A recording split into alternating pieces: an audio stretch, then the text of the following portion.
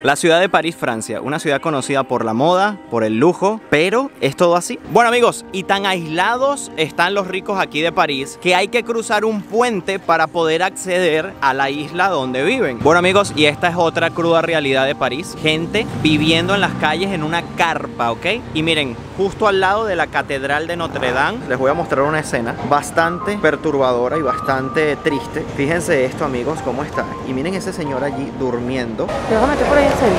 Eh, no sé si meterme del todo, allí tiene un poquito de miedo.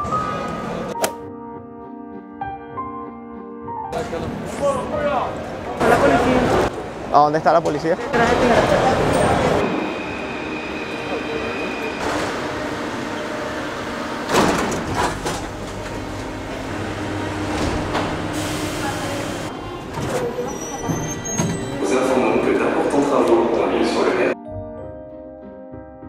Bueno amigos, y esa familia estaba justo en las escaleras del metro que te deja en el glorioso Arco del Triunfo aquí en París. Hola, ¿qué tal amigos? Sean bienvenidos a un nuevo video. Para los que no me conocen, mi nombre es Gabriel Herrera.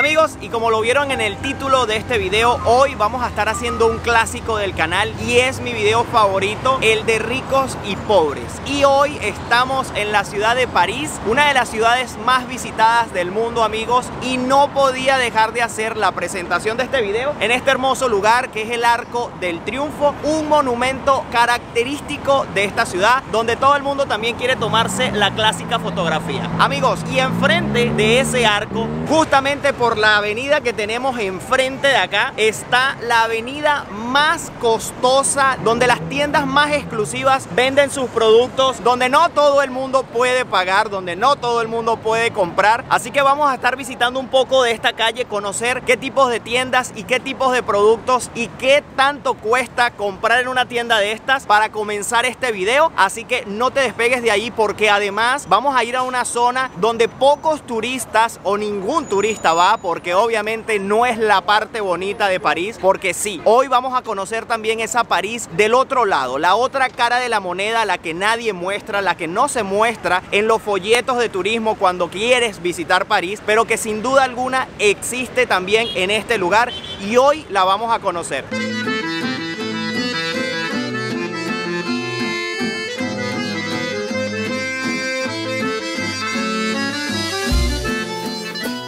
Y les comentaba que este video era clásico de mi canal porque lo hacemos cada vez que visitamos un país nuevo. Ya lo hemos hecho en mi país Venezuela, lo hemos hecho en la Ciudad de México, también este mismo video lo hemos hecho en Portugal, también lo hice en mi reciente visita a Chile y por supuesto que también en Estados Unidos. Así que si quieres ver alguno de esos videos, te los voy a dejar aquí en la descripción. Sin duda alguna, esta parte de la ciudad es espectacular. Ese arco es impresionante. No da el video para mostrar lo bello que es en persona y los alrededores del arco también son muy bonitos. Tenemos, no sé si son residencias o edificios gubernamentales, pero son espectaculares. Es la típica arquitectura parisina que a mí en lo particular de verdad me encanta mucho. Bueno, justo la avenida que tenemos aquí enfrente es la avenida de los Campos Elíseos. Como les comenté, es una de las avenidas más costosas del mundo, amigos. Comprar aquí un local para tener un negocio o una casa es de lo más caro que puedas conseguir. Y como en toda avenida costosa es bastante amplia. Fíjense solo el espacio que hay para caminar de este lado de la avenida. Luego viene la parte de los vehículos, tiene otro lado de la avenida por aquel lado para caminar también. O sea, imagínense el tamaño de esto. Bueno amigos, además de esta ser una de las avenidas más caras del mundo, también es muy famosa por ser un punto importante de reunión para los parisinos. Y es que aquí en esta avenida se reúnen en año nuevo. También en esta avenida es el final, es la meta del Tour de Francia. Para este video me va a estar acompañando mi linda esposa Angie. Hola. Y precisamente Angie tiene un dato curioso también de esta importante avenida. Y sí, es que aquí se reunieron una cantidad inmensa de personas para celebrar el fin de la Segunda Guerra Mundial. Entre el lujo que podemos conseguir en esta importante avenida, como no, una tienda Cartier y justo al lado de ella una tienda Montblanc. Sí, Angie, puedes ver, puedes ver. Una de las piezas más caras de esta vitrina aquí de Cartier es ese reloj que ustedes ven allí y cuesta nada más y nada menos que 24 mil euros, amigos. Digo yo que mínimamente por ese precio debería de poder paralizar el tiempo, ¿no? Bueno, amigos, y es que esto no podía ser diferente y es que hasta McDonald's tiene algo especial aquí. Y miren las tumbonas que tienen, estas sillitas para acostarte acá. Qué divino se ve eso, estar allí con este solazo, bajo la sombra y en esta linda avenida. Yo nunca había visto esto. No sé si ustedes, déjamelo en los comentarios. Bueno, entré a este McDonald's para que ustedes vean cómo es un McDonald's en una avenida súper cara. Y fíjense, aquí tienen solo pantallas y maquinitas para tú mismo ordenar la comida. Y por el tema del coronavirus le pusieron estas separaciones entre una y otra. Tienen un McCafé, un área de postres y está bastante bonito amigos. Me gusta bastante, es un poco diferente. Tiene otro estilo, miren las escaleras, muy bonito, una lámpara muy bonita. El área de las cajas también está muy bonita. No sé qué dicen ustedes, pero a mí no me parece un restaurante de comida rápida. De verdad tiene otra pinta. Miren qué raro, aquí en el McDonald's de París venden pasta. ¿Qué tal? Yo nunca había visto pasta en un McDonald's. Ensaladas sí, pero pastas nunca. Otra importante tienda, amigos, Bulgari. Otra tienda que no podía faltar, amigos, Louis Vuitton, que es un edificio entero.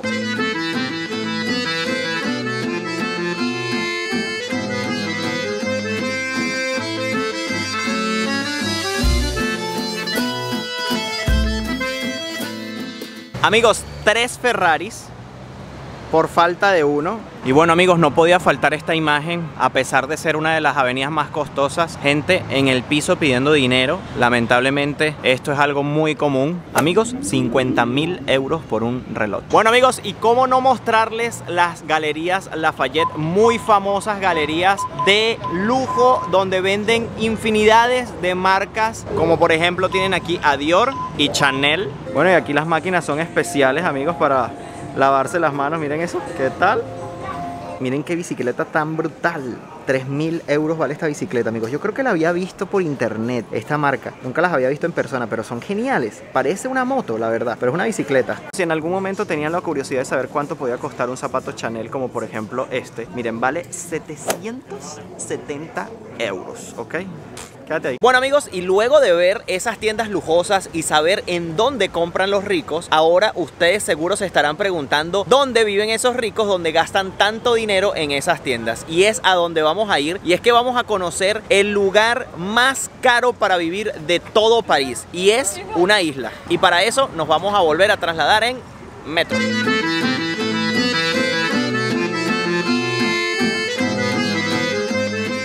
Bueno amigos, aquí en la estación de metro de la zona rica, las máquinas son diferentes, son más modernas porque son táctiles. Son simplemente es tocar la pantalla y te da las diferentes opciones que vas a comprar de ticket. Así que bueno, solo para que vean esta curiosidad.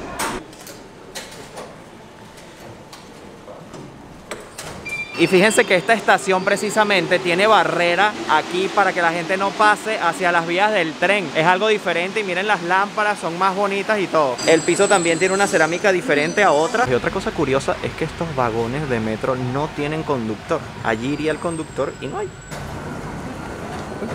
Y nada más saliendo amigos, alguien pidiendo. Es muy común en las estaciones de metro. Bueno, ya nos bajamos del metro y vamos de camino a la isla que les quiero mostrar. Podríamos llamarle que es la isla de los ricos de París o de Francia porque es el lugar, uno de los lugares más costosos del mundo para vivir. Su nombre, que todavía no se los he dicho a esta altura del video, eh, no lo sé pronunciar muy bien. Y para eso yo creo que es mejor que el traductor se los, se los diga.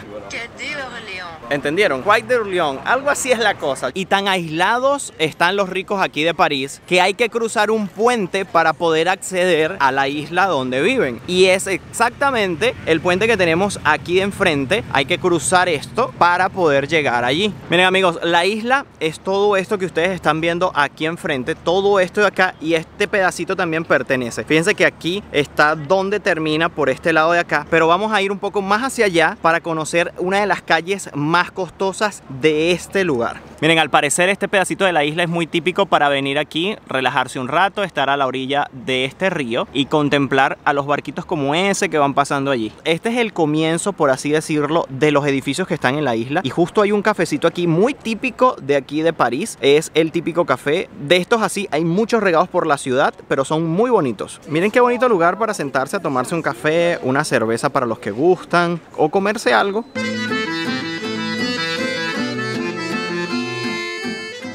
Aquí tenemos otro ejemplo de ese tipo de cafés. Fíjense que son todos iguales. La gente se sienta afuera y en esta época pues mucho más a tomarse una copita muy bonita a la puesta del sol. Echándole un vistazo a los menús de estos cafés, una ensalada te puede llegar a costar 20 euros. Sí, como lo oyeron, una ensalada, lechuga, tomate, ta, ta, ta, 20 euros. Y amigos, de este lado de la isla es donde están los apartamentos o los edificios más caros que hay de este lugar. Y es la calle Cuarta. Esta es la fachada de alguno de los edificios que están por acá. Miren este detallazo que conseguí en un farol de luz que está justo aquí. Es unas letras del juego Scrabble, pero fíjense que aquí estas letras se soltaron y nadie se las lleva. Entonces dice yourself, dice free, love y aquí completaría la palabra de help, pero nadie se lo lleva.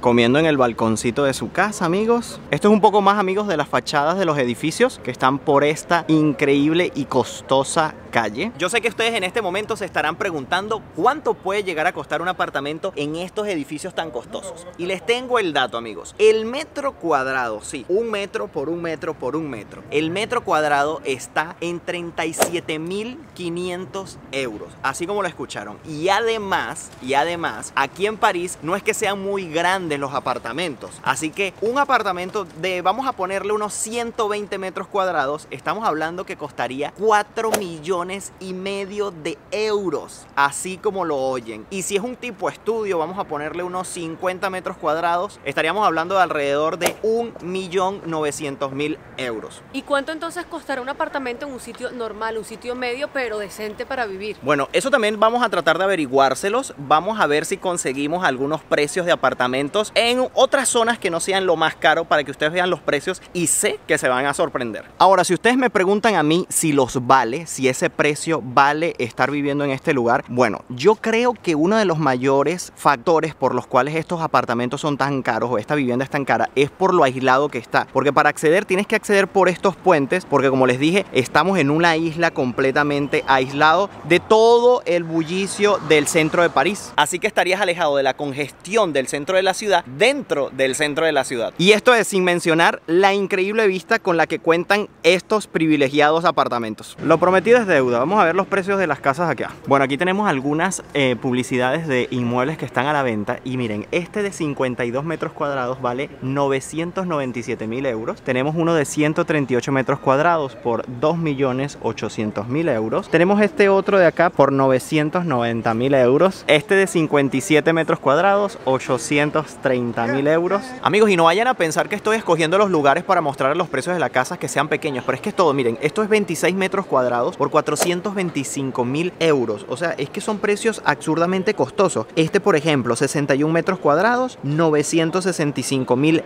euros. Esto sí es de locura, amigos.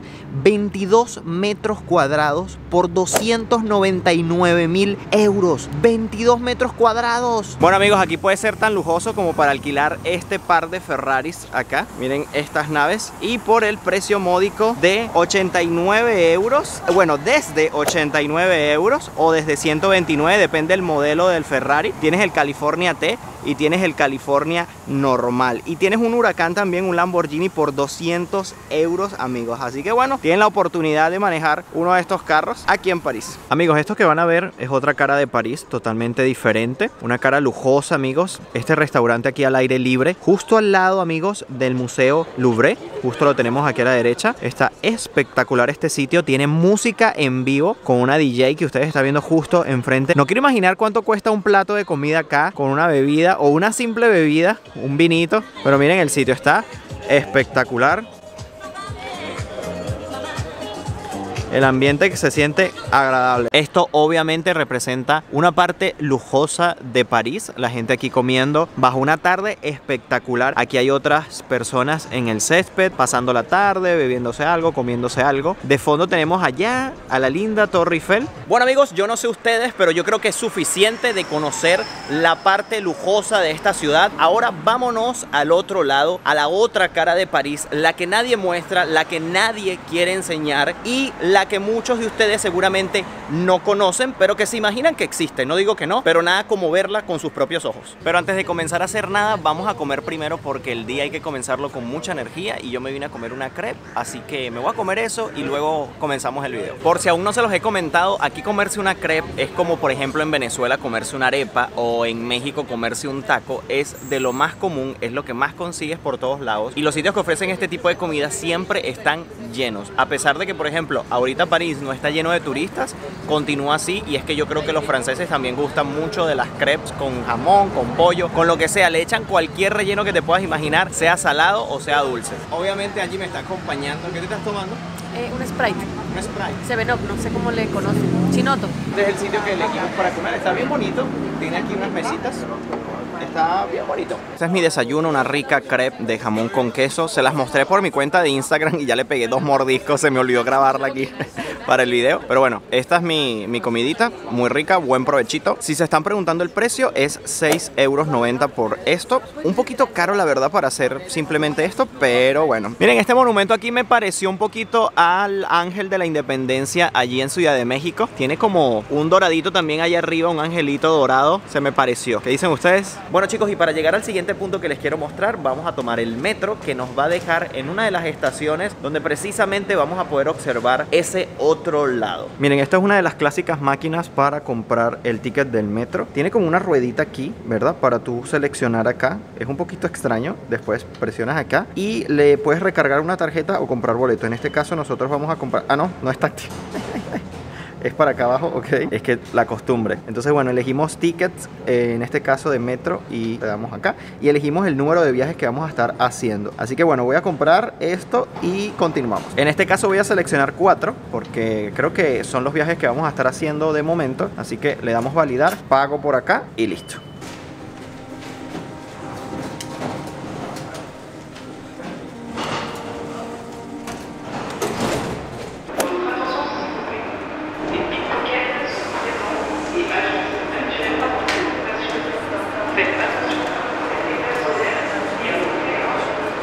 Bueno, y aprovechando que estamos aquí en el metro, una de las cosas que te advierten siempre por los megáfonos del metro es que tengas cuidado con los carteristas. Los franceses aquí creo que están muy claros acerca de ese problema y es que todos te lo advierten. Desde que pisé el metro de Francia, las personas que te ayudan a informarte o a ubicarte, lo primero que te dicen es ten cuidado con los carteristas, es la advertencia. Y una de las cosas que me gustó acerca de esas personas que te ayudan a ubicarte dentro del metro es que todas, o por lo menos todas las con que me he topado, hablan español. Un español bastante básico pero te entienden perfectamente y te logran decir las cosas también perfectamente.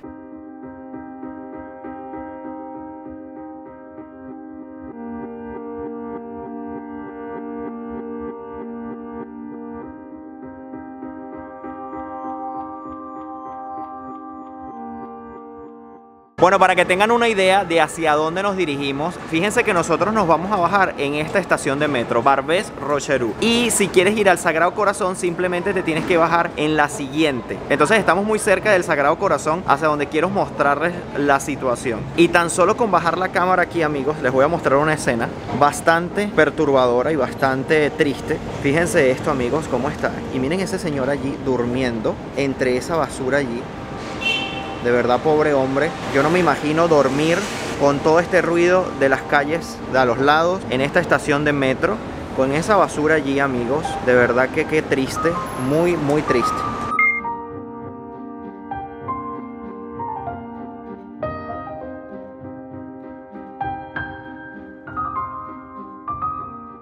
Y amigos, ya llegamos a Barbé Rochechouart. Algo así es la cosa, no era Barbé Rocherou como lo estaba diciendo yo de mala manera. Bueno, desde aquí amigos ya puedo ver que el aspecto de la ciudad cambia un poco. De verdad que sí se nota un poco la diferencia ya en esta parte.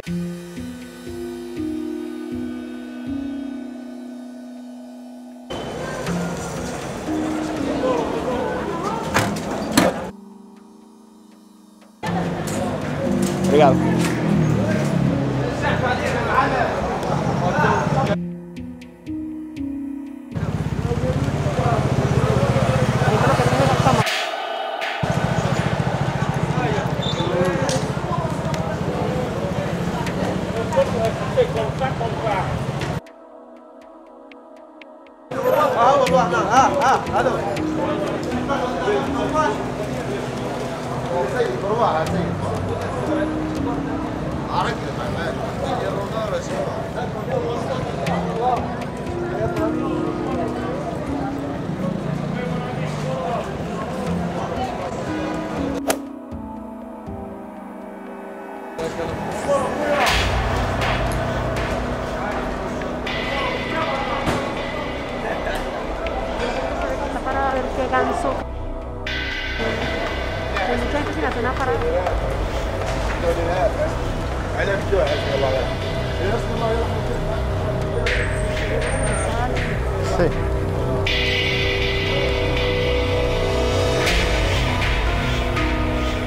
Bueno amigos, yo aquí estoy grabando disimuladamente y yo lo que he notado es que apenas sales de la estación de metro, que es por los alrededores que les he mostrado hasta el momento, hay mucha gente en las esquinas parada.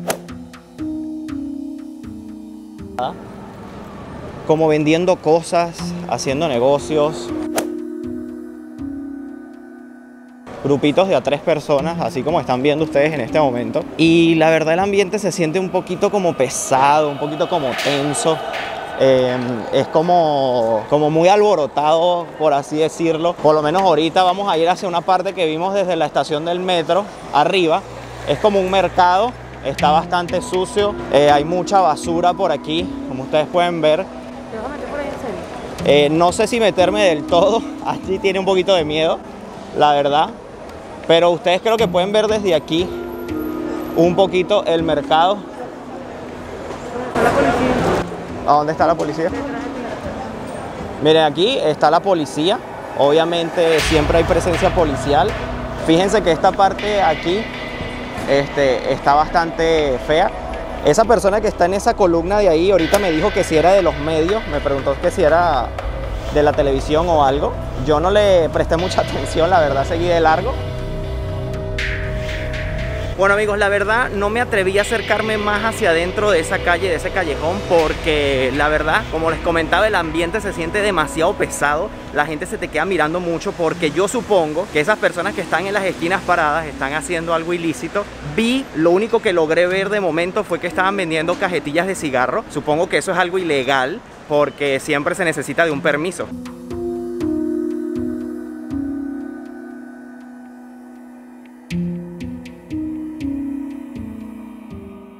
Bueno, realmente no me atreví también a entrar porque Angie estaba bastante asustada. Eh, ella me dijo, yo no voy a entrar por ahí, yo no sé si se logró escuchar la grabación, pero ella no quería. No, no, no. O sea, nos veían demasiado feos.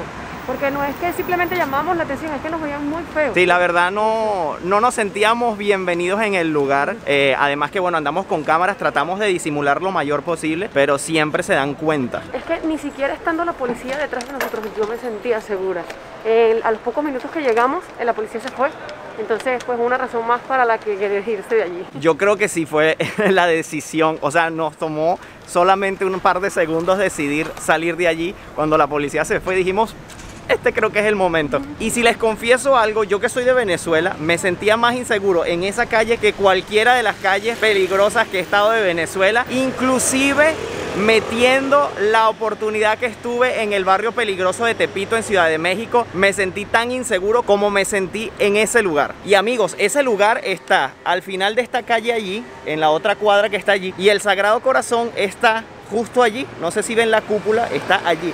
Así de cerca está de ese lugar. Otra cosa que debo comentarles que ese lugar no es el más peligroso de París. Estamos tan solo en uno de ellos y creo que no es el más peligroso porque el más peligroso está a las afueras de París, está alejado un poquito del centro de la ciudad y eso sí que es muy diferente. Pero amigos, la verdad es que si no me atrevo a entrar allí del todo, imagínense ir hacia allá. Voy a tratar de buscar algunas imágenes en Google de ese lugar para ponérselas aquí y ustedes puedan ver de qué clase de sitio estamos hablando.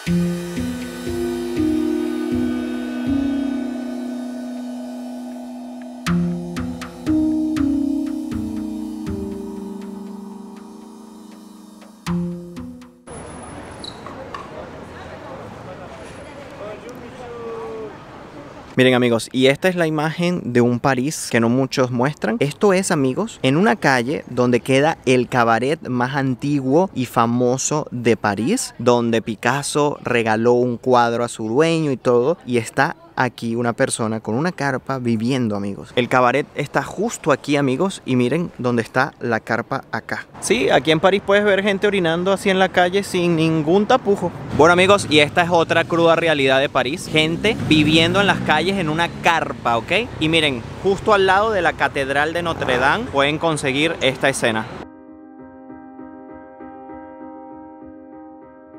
Bueno amigos y miren, eh, la Catedral de Notre Dame queda justo aquí y solo caminamos un par de metros desde allá y ya tenemos otra escena similar a la que vimos en la carpa, pero esta vez sin ni siquiera carpa amigos. Es muy común la verdad.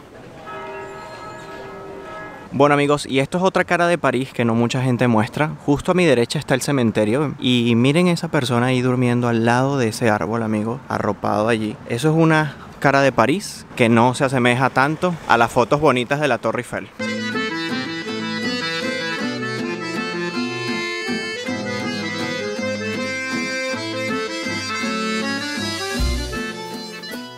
Algo curioso que les quería decir es que aquí en Francia es difícil comer. Por lo menos aquí en París a, nosotros se nos ha hecho complicado, la verdad. Todo está cerrado después de las 8 en un horario eh, como al mediodía, como a las 5, 4. No sé si por la cuestión de los horarios en verano. Para ellos el mediodía no es a las 12 como lo es en mi caso en Venezuela. Para ellos el mediodía es como a las 3 de la tarde. Entonces eso también de las 5 está todo cerrado también. No sé si se están preparando para recibir a las personas en la noche, pero también todo cierra a las 8, entonces es complicado. Si consigues algo es casi que todo crepe. Y además de eso, el otro problema es entender el menú. Y no en todos los sitios que conseguimos abiertos, el menú lo ponen en inglés por lo menos para uno entender. La mayoría es en francés y no tienes ni remotamente idea de lo que estás a punto de pedir. Y el lugar en el que estamos ahorita, amigos, definitivamente vale la pena que lo vean porque es un sitio por lo que estamos viendo, por la cantidad de personas que hay. Un sitio muy popular para los franceses venir a pasar la tarde, pasar el rato, comerse algo, sentar a la orilla del río y disfrutar del atardecer. Dato curioso que no pueden ver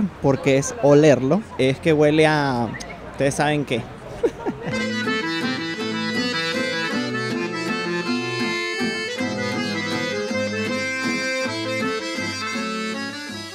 Bueno amigos, y llegó la hora de la cena, aunque está todavía de día, el sol está cayendo, Angie está allí esperando su ñoquis al pesto, ¿cierto? Yo me voy a comer una pizza y ustedes dirán, ¿qué hacen comiendo italiano en París si van a ir a Italia? Bueno, miren, ya hemos comido muchas crepes, creo que las tenemos hasta aquí, y no entendemos más nada. Entonces lo único que entendimos fue esto de acá. Así que vamos a comer esto. Bueno, estos son los ñoquis de Angie. Díganme si no se ve bueno eso de allí. Amigos, y hemos llegado al final de este video, ya hicimos nuestro recorrido. Creo que dio para ver ambas caras de una misma ciudad. Una ciudad que es considerada la más visitada del mundo, pero no precisamente por ese otro lado que vimos en el video de hoy. Sí, siempre es muy importante conocer esa diversidad que existe o que puede haber en cada ciudad a la que vamos, ya sea buena o mala. Sin duda alguna, París nos sorprendió muchísimo. Ambas caras tienen una particularidad muy interesante de conocer. Sin duda alguna, ir a la parte más desfavorable de la ciudad nos dejó una enseñanza bastante grande y un susto tremendo porque la verdad nos sentimos bastante, pero bastante inseguros. Creo que ha sido uno de los sitios donde me he sentido más inseguro de todos los que he visitado hasta el momento. Yo también, definitivamente. Sí, la verdad es que no sé si por el hecho de que Angie me estaba acompañando y normalmente cuando hago este tipo de videos siempre trato de ir solo. Sí, es que nos sentíamos intimidados por las personas que estaban en el lugar, nos veían extraños, hacían gestos incluso como para llamar nuestra atención. Sí no sé, no sé, fue bastante extraño, pero definitivamente eh, no me sentía segura en ese lugar. Sí, yo tampoco. La verdad es que a pesar de que estaba hasta la policía, llegó un punto en que dijimos, bueno, está la policía aquí, pero en el momento, sí, pero en el momento en que la policía se fue, dijimos, este es el momento, vámonos porque nadie nos va a rescatar acá. ¿Será que la policía se dio cuenta de nosotros con nuestras cámaras y dijo, no, bueno, vamos a dejárselos allí, vamos a lanzárselos a estos? Yo creo, vamos a lanzar la, la carnada, pero no, sí, la verdad es que bueno, fue una situación bastante compleja, pero siempre es interesante vivir esa clase de, de cosas siempre y cuando, bueno, terminen bien, porque cuando terminan mal, vienen los arrepentimientos. Si quisiera saber en los comentarios qué fue lo que más les sorprendió de todo lo que vieron en el video de hoy y si esperaban ver lo que vieron. Y por último, no olviden suscribirse al canal si aún no lo están, activen la campanita de notificaciones para que siempre sepan cuando suba un video nuevo. De igual forma van a tener en la descripción de este video el canal de Angie, donde ella también les está creando contenido al respecto de los lugares que visitamos. No olviden seguirnos por nuestras cuentas de Instagram, La de Gabo es Gabriel Herrera barra baja. Y la de Angie, Angeliana K. Así que amigos, desde aquí, desde París, nos despedimos. Nos vemos en un próximo video. Bye bye. Se les quiere.